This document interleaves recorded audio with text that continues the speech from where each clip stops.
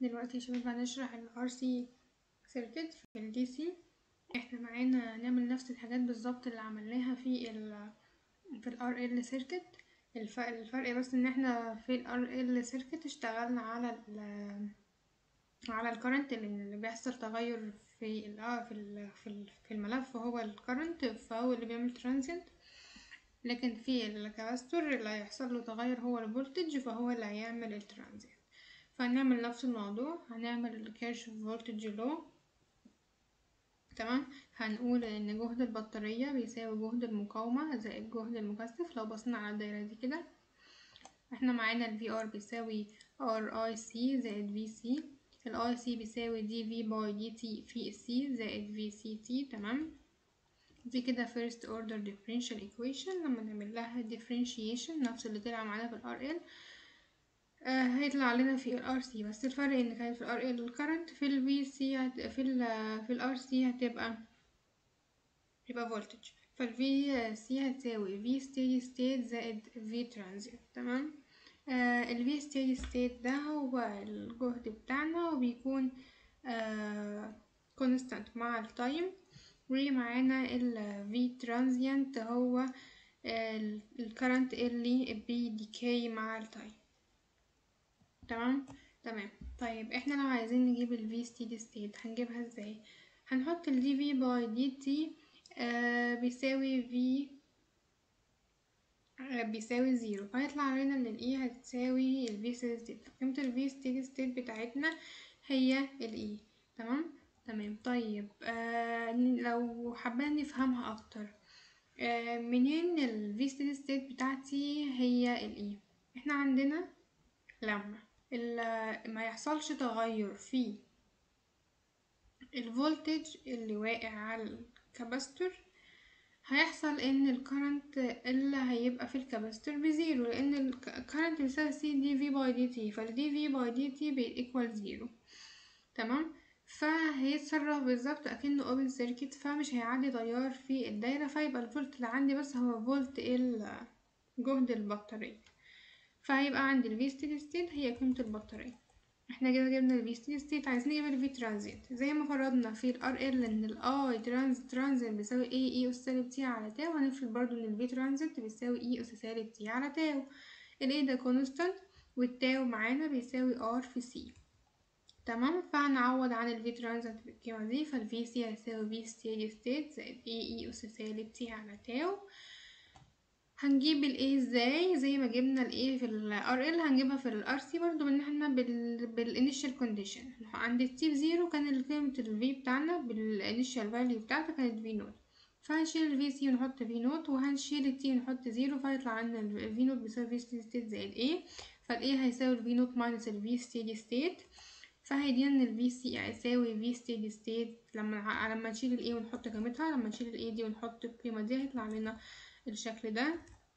ممكن نحطها بفورمة تانية الشكل دي تمام؟ ممكن نحلها بطريقة تانية يعني نجيب ال V نوت بقيمة تانية وال V steady state بقيمة تانية والتاو بقيمة تانية بإن إحنا نجيب ال ordinary differential equation دي ونشتغل عليها بالظبط زي ما شرحت في ال RL هيطلع لنا الشكل النهائي ده هيطلع علينا إن دي ال E هي ال V steady state زي ما قلنا وهيطلع لنا حاجة مضروبة في ال T بيساوي واحد على RC سالب واحد على RC فاحنا عندنا كن كنا بنقول إن T على tau فعندنا ال tau هيبقى R C زي ما قلنا. فال V steady state هي قيمة البطارية وال tau هي ال R في ال C تمام؟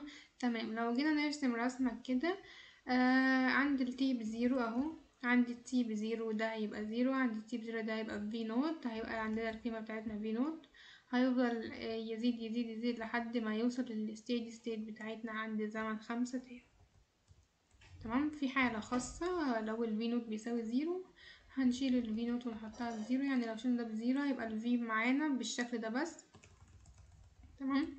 تمام لما نيجي نرسمها هنحط عند ال T ب zero هيبقى ده ب zero كله. ونفضل نزيد برضو لحد ما نوصل لل V steady state عند زمن خمسة tau بس دي حالة خاصة مش لازم يعني نحفظها. نبقى عارفين لو هو عايز مثلا ال V naught ب zero نحطها له ب zero طيب إحنا كده جبنا ال voltage لو عايزين نجيب ال current لو عايزين نجيب الكرنت الاي بيساوي سي دي في باي دي تي هنعمل ديفرنشيشن لمعادلة الفولتج عندنا ونضربها في السي هيطلع لنا الشكل ده. طب لو عايزين نجيب الفي ار هنقول اي ماينس الفي سي بتاعنا. أو هنضرب الار في الاي سي دي تمام؟ تمام. آه فهيطلع لنا الفي ار بالشكل ده كده. لما نضرب الار في إيه في دي هيطلع لنا الفي ستيدي ستيت ماينس في نوت في اي اس سالب بتاعته وإحنا قلنا إن الفي ستيدي ستيت أصلا باي فهيطلع لنا الفي ار بيساوي اي ماينس في نوت في اي اس سالب بتاعته. وعندنا حالة خاصة لو ال V naught equal zero هيبقى معانا ال V capacitor بالشكل ده كده. عند التي بزيرو الفي ستيدي ستيت بزيرو يفضل يزيد لحد ما يوصل ل steady state لحالة ال steady state وعندنا ال I C برضو عند ال T ب zero هيبقى عندنا ال I E على R قيمة ال E على R عادي.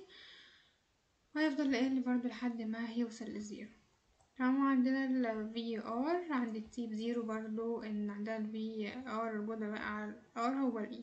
تمام يفضل يقل برضو لحد ما يوصل ل zero زي ما جبنا الستورد انرجي في الكاباستور هنجيب الستورد انرجي زي ما جبنا الستورد انرجي في الكويل هنجيب الستورد انرجي في الكاباستور إحنا عندنا ال energy كانت عبارة عن إيه؟ عبارة عن تكامل power فاحنا عايزين نجيب ال power فال power هتساوي إيه؟ هتساوي I في V فالاي فانكشن في التايم الفي سي فانكشن في التايم طيب ال V C كانت فال I C بتساوي كام؟ C D V by D T هنعمل separation و integration هيبقى integration الجزء ده هو وهو ال energy stored energy والجزء ده نعمل له تكامل عندنا C constant فهيبقى نزود على الأس هنقسم على الأس الجديد فهيبقى نص C V C square على الاتنين. V C square يعني نص C V C square طيب زي ما عملنا de-energizing لل coil في حالة ال coil هنعمل discharging equation في حالة ال capacitor. هنمشي نفس الموضوع برضو هنعمل فولت Kirchhoff voltage law. هنقول إن قيمة البطارية بتساوي الجهد اللي واقع على المقاومة زائد الجهد اللي واقع على المكثف. بس إحنا عندنا جهد المقاومة ب zero فهنحطها ب zero. عندنا ال VR ب R في I T زائد ال VCT عندنا بيساوي R في C D V by D T ده ال current اللي بيبقى في ال capacitor آه هيجي كده آه تبقى first order differential equation. لما نعمل لها differentiation هيطلع لنا ده الحل بتاعها. ال VC بيساوي VC زائد ال E سالب T على tau. لو حطينا عايزين نجيب ال V steady state هنحط ال VC by D T ب zero فهيطلع لنا إن ال V steady state ب zero تمام؟ لأن أصلا كانت ال V steady state بيساوي قيمة البطارية فدلوقتي مفيش بطارية كانت بزيرو فهيبقى الاي بسي بزيرو فهيبقى ستيدي ستيت بزيرو.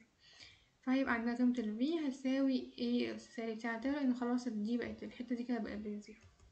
طب لو إحنا عايزين نجيب ال A هنعمل إيه نستخدم ال initial condition برضه. عند ال t ب zero كان ال initial value بتاعت ال V هي V naught فيطلع لنا الفي سي بيساوي في نوت في سالب تي على وعند ال t ب zero كان ال VC ب V naught وكل ما نمشي لحد ما نوصل لحالة ال steady state تبقى VC ب zero. يعني إيه؟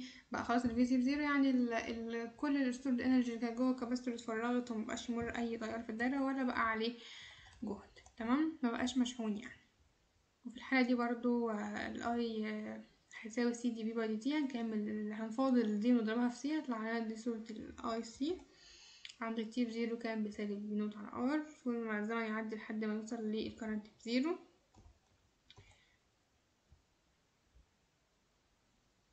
طبعا عايزين نجيب ال ال VR هيساوي سالب VC ليه؟ لأن هما كان مجموعهم بيساوي zero فال VR هيساوي سالب V VC هيساوي ال I في ال R هنضرب معادلة هنضرب ال I بس في ال R فهنجيب ال ال VR ولو عاوزين نجيب ال VC هنضربها في سالب فعندنا ال VR بيساوي سالب V naught e أس سالب t على تمام؟ هناخد مثال.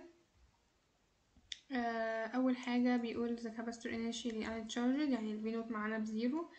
هنقفل المفتاح عند زمن t equal zero عايز ال form بتاعت ال VC وال IC وعايز ال current وال voltage عند زمن خمسة millisecond آه عندنا عشان الأول نشتغل عليها إحنا عايزين نحولها لدايرة بسيطة زي اللي كنا بنشرح عليها واللي مطلعين عليها قوانينها اللي هي كانت عبارة عن بطارية وملف أو مكثف قصدي ومقاومة بطارية ومقاومة مكثف فهنعمل إيه؟ هنعمل آه نجيب ال 7 equivalent circuit بين A و B.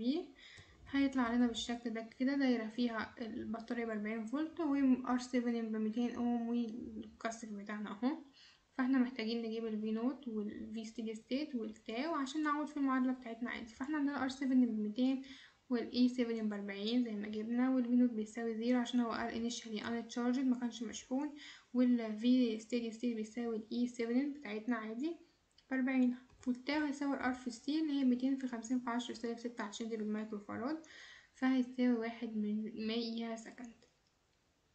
هو عايز بقى ال ال ال ال time عند زمن خمسة millisecond يعني خمسة من ألف second.